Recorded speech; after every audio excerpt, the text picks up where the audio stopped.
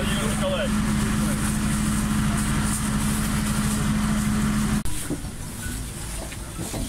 Их еще нету.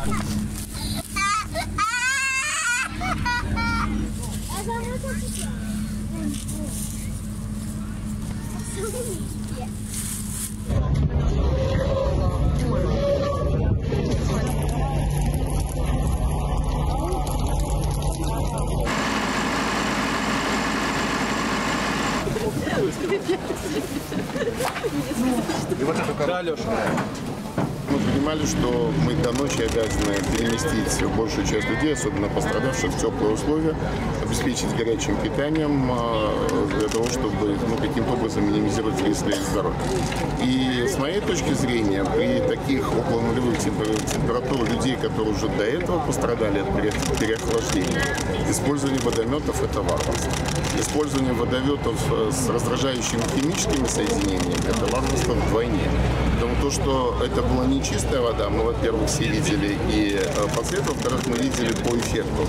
А, Обращались люди, которым э, с э, поражением глаз, мы видели раздражение на коже. Тут тоже ситуация усугубляется тем, что многие мигранты до последнего не обращаются за медицинской помощью. Они боятся покидать территорию лагеря, боятся, что их повезут в больницу и терпят до последнего.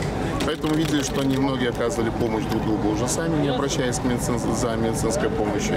Но опять же, поскольку мы не знаем, какие соединения использовать и какие отдаленные последствия, здесь налажен э, постоянный медицинский мониторинг а, для того, чтобы людей с ухудшением э, состояния здоровья оперативно оказать медицинскую помощь и в случае необходимости направить на госпитализацию в клинике а, города Гродно.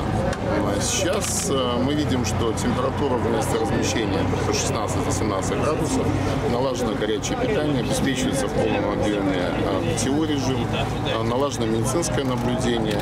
Ну, мы продолжаем работу для того, чтобы убедить тех людей, которые по-прежнему находятся на улице, особенно семьи с детьми, переместить их все-таки в теплые условия, потому что еще одна холодная ночь под открытым небом ну, это действительно реальная угроза для жизни и здоровья де- детей особенно, но и всех, кто находится на улице.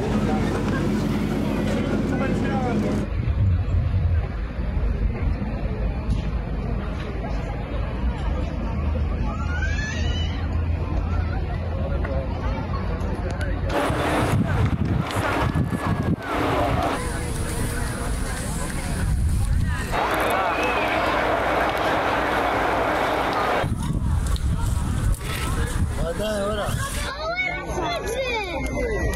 Sağını sarı. Sakın var ya.